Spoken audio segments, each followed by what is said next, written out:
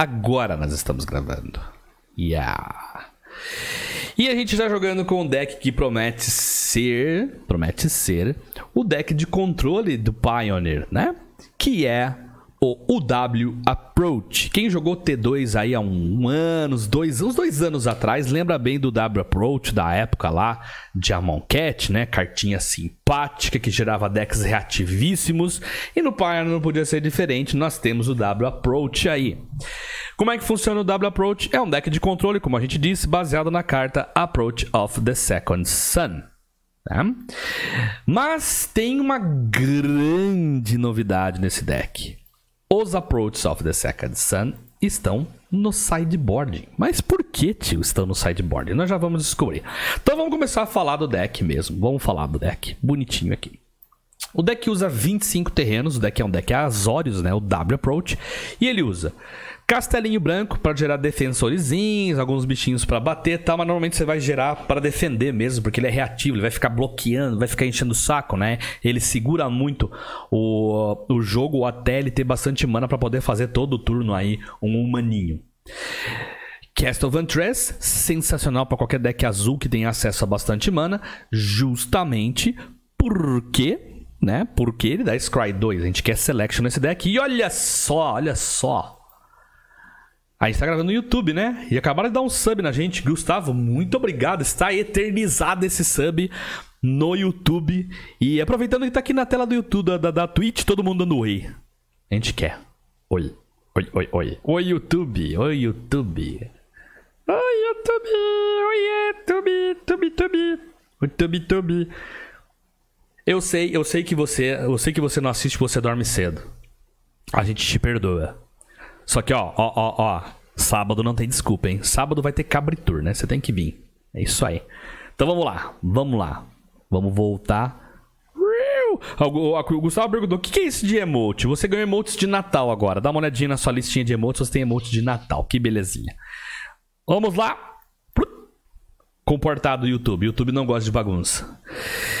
Uh, então, continuando na base de mana aqui, nós temos Glacial Fortress, 4 Glacial Fortress, 4 Hallowed Fountain, né? Lentes que dão mana azul e branca. Ilhas, muitas ilhas, muitas ilhas, porque você tem muitas anulos, ou você tem muitas planícies, que você tem muitas utilizações para planícies. E a gente tem Mystic Sanctuary, cartinha nova de Eldraine, que eu coloquei como uma das melhores cartas da coleção de Eldraine.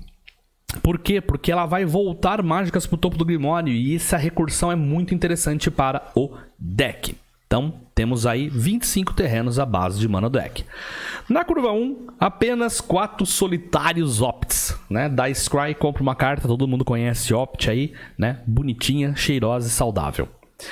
Na curva 2, nós temos Blessed Alliance, que é justamente para você segurar a onda de decks rápidos, você consegue ganhar vida, fazer o oponente sacrificar, ou desvirar duas criaturas raramente você vai usar, mas vai que, né? E o escalar, se você tiver lá no late game, você pode usar mais do que um efeito. Nós temos Fay of Wishes. Fay of Wishes é uma carta que tem uma aventura que é interessante, que é justamente como você faz para buscar cartas no seu sideboard. Olha só. E olha, nós vamos interromper novamente, interrompendo lá, lá, porque a gente tem outro sub. O Malker também deu um sub aí, ó, eternizado no YouTube, gravado, lindo, maravilhoso. E voltando a Fair of Witches. Então, a Fair of Witches, como o approach é algo que a gente tem que usar duas vezes para ganhar o jogo, a gente deixa os approaches no sideboard. A gente, Fair of Witches, busca um approach, usa o approach. No momento apropriado, você usa fail fishes, busca outro approach e ganha o jogo. É por isso. Tá? E olha, meu Deus do céu. Agora, virou chain. Nearzilla agora também. Nearzilla também. No sub. Obrigado, galera. Muito obrigado. Muito obrigado. E, então, Fail of Wishes aí, além de ser uma fada bunduda, né, cara? É, é, é bacana, né? O você ter ela como criatura mesmo, né? Fora que, com o Teferinho, nós vamos chegar nele, você pode fazer várias recursões. Você baixa ela como criatura, volta com o Teferinho, usa como o Granted novamente, né? E Search for Ascanta, saudade Search for Ascanta do T2, né? É, selection, basicamente, quando ela tá flipada, quando ela tá normal, ela vai olhar o topo e mandar a carta pro Grave. Você quer aumentar o seu Grave, nós vamos chegar lá na frente, entendeu por que, que a gente quer coisas do Grave. E depois que ela flipa, né? Ela flipou, transformada, ela dá um selection muito bom que faz que esse deck seja bem inevitável, né? Thanos gosta desse terreno. Curva 3, nós temos Removal, Detention Sphere para tirar qualquer coisa muito chata. Nós temos Teferinho. Teferinho não tem como ter deck Azorius sem ter Teferinho, né? Ele faz muita coisa. Ele não deixa o oponente responder nada seu, né? É, ele volta coisas problemáticas, artefatos, criaturas, encantamentos para dons do dono, que pode ser muito legal. E, inclusive tem aquele uso que a gente acabou de falar com a Fey of Witches. E absorve, por quê? Porque anula, né, mano? Anula, anula, ganha vida, é bom contra decks rápidos, aí você dá aquela anulada, regula a vida aí, fica muito lindo. Na curva 4, nós temos nossos Mass Removals aqui no formato de Supreme Verdict. Tio, mas só tem dois. Calma, que tem mais um no side, gente. Aham. E temos Settle the Wreckage. Né? Esse quadro, a gente tem que deixar uma coisa meio clara. Esse quadro, lembrando que esse deck é o do Ângelo, sim, o Ângelo do Cabrito Montes, que fez a temporada Pauper para você, que deve estar algum card em algum lugar aqui, temporada Pauper, que ficou ó, bem legal. É... A gente sabe que às vezes Alguém pode vir perguntar: ah, mas eu prefiro três vereditos e um Settle só. Esse quadro tem como função, galera, inclusive, é, o cara, o nosso apoiador dá uma versão dentro do budget dele e a gente tentar melhorar dentro do budget. O Ângelo explanou pra gente que o Supreme Verdict aumentou muito de preço e ele não quer gastar com isso agora. Por isso que ele colocou o Serra the Record. Então, antes que alguém nos comentários fale assim, é muito melhor 4, 65.890 Verdict, é por isso que não tem 3 Verdict, ok? E a gente tem Jace. Esse Jace, a gente já viu em outros vídeos, né? Agora que do Cabrito Montes esses tempos atrás. Ele foi muito, muito, muito, muito bom na época de Return to Ravnica. Eu acho ele um dos melhores Jace que tem. Lógico, ele não é um Jace uh, The Mind Sculptor, mas ele é um, deck, um Jace muito bom, porque ele segura decks com criaturas pequenas de maneira exemplar. Ele dá o, o fofinho que a gente fala, né? O Factor or Fiction é, no menos 2, aí fazendo selection, que é o que a gente precisa. E caso ele chegue no menos 8, ele ulta e ganha o jogo. Aí nós temos os nossos grandes beaters. Lembra que a gente falou que a gente queria coisas no Grave? Torration Gearhook é um dos motivos, tá? A gente quer colocar uma, uma instant no Grave para a gente, na surpresa, dar o Torration Gearhook. E é um batedor, ele é 5-6, ele tem flash, ele é bonito, ele é forte ele esmaga, tá? Então, vai dois Torration Gearhooks aqui. E uma carta que me surpreendeu, até falei pro, pro, pro Ângelo que eu não, eu não esperava, né? ter ela no main deck. Ele comentou que é uma carta muito boa, salva muito, né? Lin Vala The Preserver, custa 6 manas, ela é 5-5, voa quando ela entra no campo de batalha. Seu oponente tem mais vida que você, você ganha 5 de vida. Se seu oponente tiver mais criaturas do que você, você faz um anjo 3-3. Então, ela é forte e pode fazer 3 para 1, dependendo da situação do jogo. E mais um motivo da gente querer cartas do Grave é Dig Through Time. Banidaça de Legacy aí, banidaça de Modern. Não sei quanto tempo ela vai durar no Pioneer, mas Dig Through Time, carta absurda aí. Custa 8 mana, mas tem Delve, então esses 6 quaisquer você pode reduzir, né? Pagando apenas duas azuis, e você olha sete cartas do topo do Grimório, pega duas e coloca na mão. Como a gente falou aqui, ressaltamos várias vezes, Selection. Esse deck gosta de Selection, tá? Só que nem só de Selection vive o homem, né, cara? Sphinx Revelation. Muito simples a premissa. Paga uma branca, duas azuis e X, ganha X de vida e compra X cards. Não é difícil você comprar 6, 7 cartas com esse deck. E quando você tem essa tonelada de card advantage, dificilmente esse deck perde, ok? Vamos pro sideboard, que o sideboard é quase main deck. Inclusive, é uma coisa engraçada. É, a gente a gente saideia muito pouco com esse deck. Basicamente, o máximo que a gente faz é, por exemplo, ah, match de controle. A gente tira, é, sei lá, uma Serra the Racket e coloca um Dovin's Veto no lugar. Então, tipo, esse daqui é praticamente o nosso único, o nosso único slot variável. Por quê? Porque o resto das cartas você vai pegar com a fada, que é muito mais vantagem, né? Você tem muito mais chances de conseguir uma carta do side com as quatro fadas do que você colocar um veto e torcer para ele vir na sua mão, tá? Então vamos lá. É, nós temos Python Needle, né? Cuidar de qualquer coisa aí que tenha habilidade ativada. Nós temos Approach the Second Sun. Approach the Second Sun é nossa condição de vitória principal. O que que faz? Custa 7 mana, é uma sorcery que você é muito desejável você conjurar ela com Teferi em campo para ela virar uma instant. Ela diz o seguinte: se essa mágica for conjurada da sua mão e você conjurou outro approach nesse jogo, você ganha o jogo. Caso contrário, você coloca o approach na sua, no seu grimório no, na posição número 7 e ganha 7 de vida. Então a ideia para você ganhar é você conjurar dois approaches. Ok? É conjurar dois approaches. A brincadeira é essa, você quer conjurar dois approaches.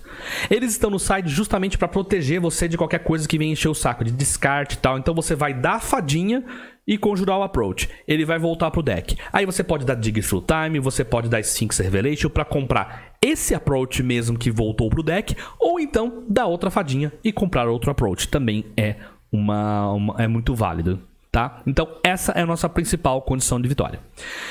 Nós temos a redundância de mais uma Detention Sphere, né, no side. Nós temos Rest in Peace contra Graveyard, duas. Nós temos Veto, mais um anula. Nós temos Spyglass, que é, também é contra decks que tenham coisas com habilidade ativadas, Planeswalker, criaturas xaropes, né? Nós temos Narset, Narset é bonita, gostosa também, né, cara? Consegue aí selection legal, dá draw. E, dependendo, a gente pega ela também com a fada para diminuir a quantidade de cartas que você vai pegar com o approach, né? Afinal, ela vai olhar 4, vai pôr para baixo. Com o seu draw, fica duas cartas apenas para você pegar com o approach. A Shiok não deixa as pessoas procurarem no deck, cuida de Grave, muito bom. Declaration Stone, removo de várias criaturas. Dovins Veto, né? Já falamos dele. Zalau é um anula de habilidade, é um anula supremo, digamos assim, porque ele anula praticamente qualquer coisa, né? Ele anula Spell, habilidade ativada, habilidade desencadeada, mais o Supreme Verdict na redundância e a Elspeth, que também é uma condição de vitória aí, né? Você pode puxar ela e fazer alguns rolês bem legais. Então, é este o W Approach e a gente vai jogar uma aí e a gente já volta. Match. Uh, tá bem do jeito que a gente quer. A única coisa é que esse Mist Santuário veio meio torto aqui, né, cara? A gente tem duas planícies, o certo seria duas ilhas, mas se continuar dessa forma, é o nosso oponente que começa, se continuar dessa forma, eu vou baixar esse Mist Santuário virado mesmo, que, tipo, né? A gente entra aqui com o Mystic virado, dependendo do draw, né? Vamos lá. Ideal seria preservar o Mystic, mas já que ele não veio, eu não quero. Eu quero ter acesso ao Anula no turno 3, né?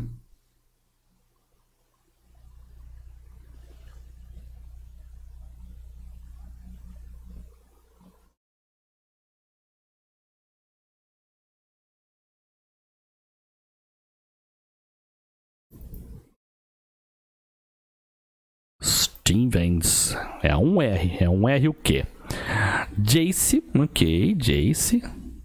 Legal. Castle Ventress. Castle Ventress. Hum, vamos colocar Castle Ventress aqui. Tio, você poderia ter baixado a planície para ter acesso a Blessed Alliance. Ele não vai me atacar com esse Jace. Não mesmo.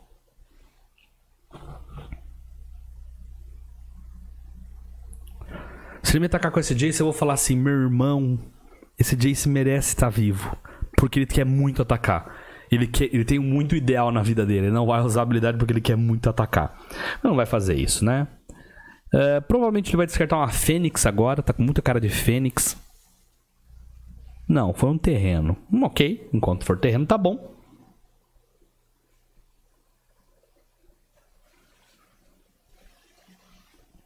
Né, um Grixis. Será que é um Grixis Dragons? Pode ser, um Grixis Dragons. Uh, vamos entrar com essa Glacial Fortress. E agora a gente tem acesso ao Absorb. Nossa mão não tá assim 100% legal não, tá? Mas tá, dá, pra, dá, pra, dá pra brincar um pouquinho, dá pra fazer uma graça.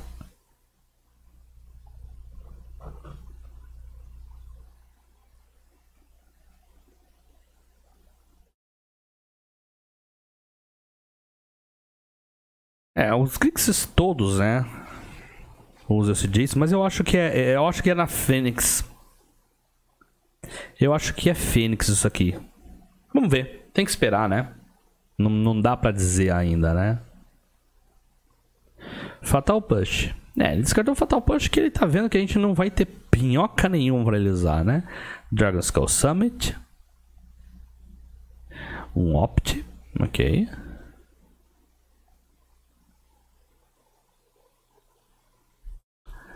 Agora. É, se fosse. Ó. Se fosse na linha. Eu já vi, né? Usando coisa no gelo. E Fênix ele já teria alguma criatura na mesa, né? Ele não seria tão azarado assim. Ele já teria algo. Então eu acho que é. Eu acho que é um controlzinho. Olha. Eu desperdiço fácil um, um, um veredito nesse Jace. O problema é saber com o que, que ele vai voltar. Porque se ele volta com bolas, né? Se ele volta com Planeswalker, que a gente não consegue lidar, fica complicado. Então, o problema é o seguinte: que ele mesmo vai ser um Planeswalker que vai ser complicado, né? Que na hora que ele, ele virar de novo, ele vai. Eu vou, eu vou matar esse Jace, eu vou correr esse risco. É, é, é horrível o que eu vou fazer, mas eu vou correr esse risco.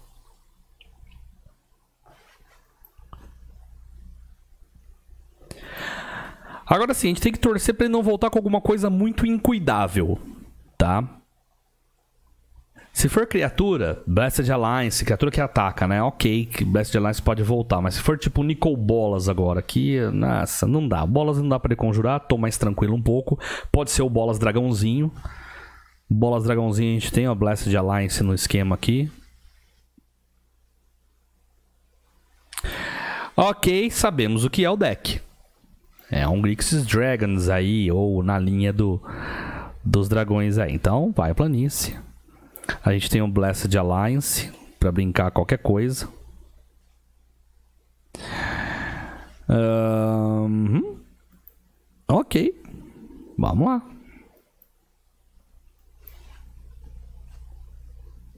Galera falando, bomba nuclear para matar o Jace. Aprende aí, Nicole Bolas. Foi bem isso mesmo, bomba nuclear. Mas eu não tinha outra maneira, porque se esse Jace ele transforma, aí ele fica bem chato, ele é, é, fica bem complicado pra gente conseguir tocar ele pra frente. O bom, a gente tem Blessed Alliance com backup de Absorb, né? Atacou? Ok. Sacrifica um bigato aí. Por favor. Se você der anula, eu tenho absorbe. Você pode ter dois anulos, daí a gente vai chorar, mas enfim, eu tentei.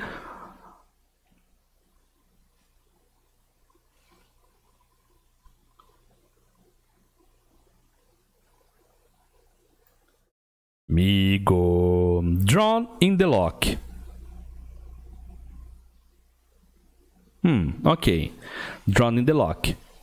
É, absorve no seu draw in the lock. Você vai ter outro anula. Se você tiver outro anula, paciência, né? A gente.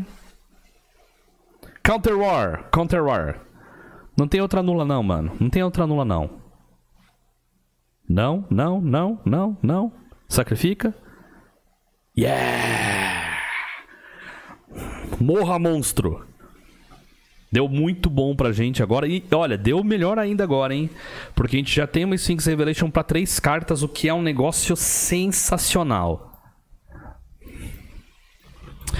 Parte ruim da história, ele pode ter outro bolas. Apesar que se ele tiver outro bola, a gente tem o Gear Hook pra, pra counterar aqui, né? Não tem tantos problemas assim.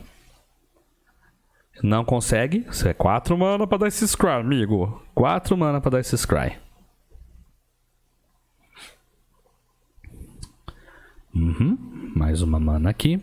Olha, se ele não deu anula aquela hora, ou ele não tinha, ou ele não quis dar. Eu acho pouco provável ele não querer dar. Então é o seguinte, eu vou dar essa Sphinx Revelation para 3 mesmo. Eu não sou gulosão. Eu não sou guloso. 3 tá bom. Draw 3 é ótimo. Draw 3 é ótimo. A gente dá aí para 3 mesmo. Drawing the Lock não anula isso daqui porque é bastante. Compramos outro Sphinx Revelation. Olha só, bonitinho, né? Bonitinho, cheiroso. Uh, round 2, 3, 4. Eu. Vamos, vamos, vamos continuar devagar. Vamos continuar devagar. A gente tem um anula ainda do, do Gear Hook. Uh, ele vai dar o Scry agora, agora pode. Dê seu scree. Vidência 2. Eu posso dar Sphinx Revelation para 4. A gente pode dar para 4.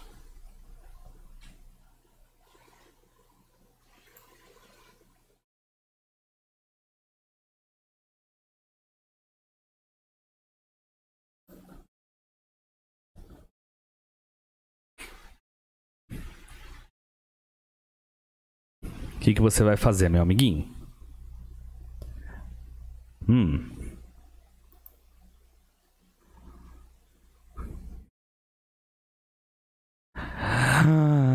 Bolas. Bem, ele tem que ter backup de anula agora. Eu não acho que ele tem backup de anula. Então, Gear Hook nele. Um, dois, três, quatro, cinco, seis. Gear Hook. Gear Hook para Absorb.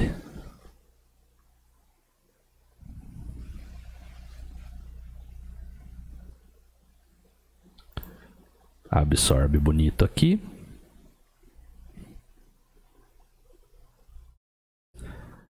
Aham. Aqui. Gearhook faz conjurar de grátis.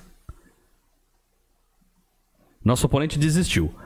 Desistiu porque, cara, ele ficou controlado aqui, tá? Ele ficou controlado aqui.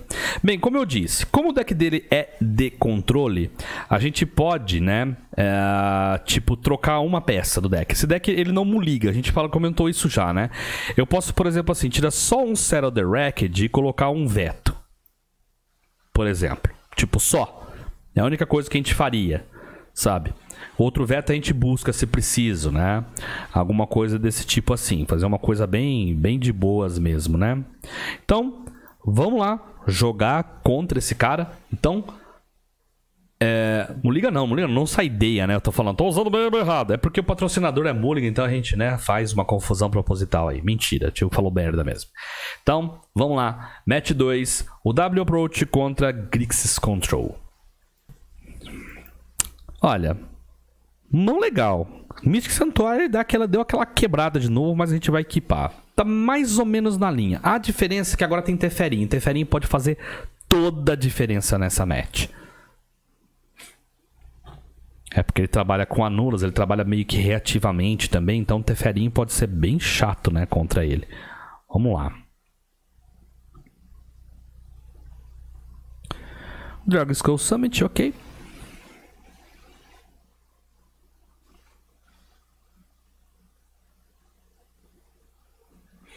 Dig Through Time, vamos começar com, a, com o Mystic Sanctuary.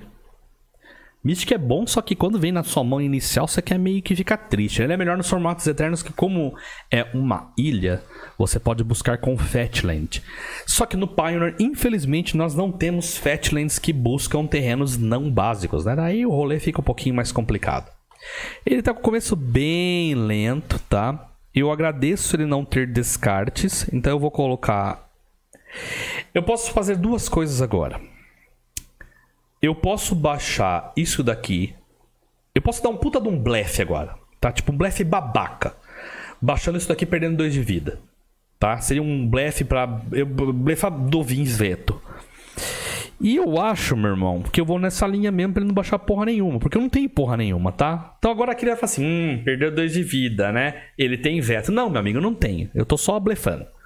Tá? Mind games, mind games. Não funcionou. Ele falou assim: caguei. Toma isso, Liliana. A parte boa, ele esqueceu de subir a Liliana e desistiu. Não desista, mano. Não desista da net. Eu estou gravando. Não desista. Não desista. Tá. Mas o vídeo deu 24 minutos. O primeiro round deu mais ou menos pra, pra gente ver, né? Como é que, que foi aí e tal. Então, eu vou ficar com esse vídeo. Que o pessoal tá até chorando aqui. Mano, não, não desista. O cara deu um shame concede por causa da Liliana. Mas a primeira match deu pra gente ver como é que controla, como é que funciona, tal, bonitinho, né? Eu espero que vocês tenham gostado desse vídeo aí. Um grande abraço e até logo.